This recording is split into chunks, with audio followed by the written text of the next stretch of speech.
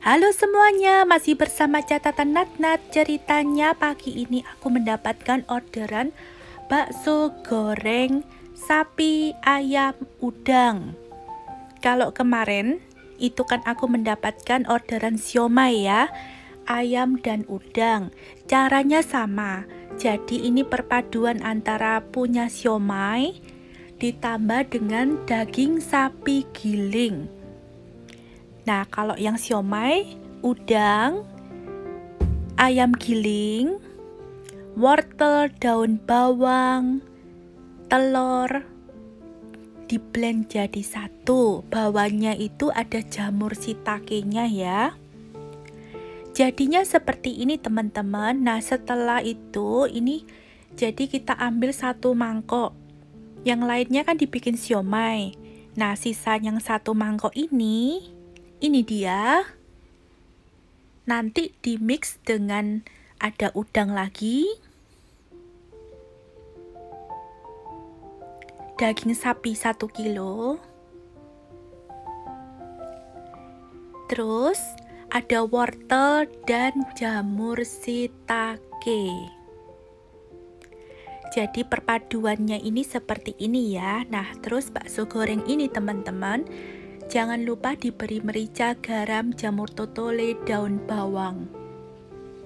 Ditambahkan juga sekitar 5 sendok makan tepung tapioka dan 5 sendok makan tepung terigu di mix jadi satu, di blend jadi satu. Jadi perpaduan antara ayam, udang, dan daging sapi. Daging sapinya giling ya. Untuk wortel dan jamur akan di blend menjadi satu. Di mix dengan udang. Jadi daging gilingnya ini dimasukkan daun bawang juga. Setelah itu yang di blend wortel nih jamur udang diberi air sekitar 50 ml nah untuk pencampurannya yang tadi aku sebutkan tepung terigu dengan tepung tapioka atau sagu dimasukkan. Dimasukkan telur lagi 4 butir. Jadi kalau kalian bingung Lihat dulu gimana caranya resep bikin siomay ayam dan udang. Setelah itu basicnya baru ke sini teman-teman, jadi nanti tidak akan bingung. Di mixer jadi satu seperti ini.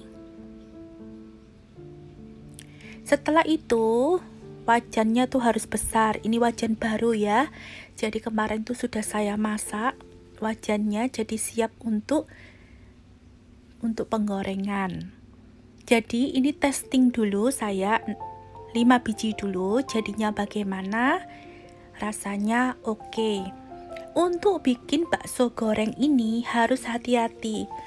Permainan api harus betul-betul dijaga. Kalau terlalu apinya terlalu besar, dalamnya tidak akan mateng. Jadi teman-teman harus betul-betul melihat kondisi api ya, apinya ini dari sedang dikecilkan.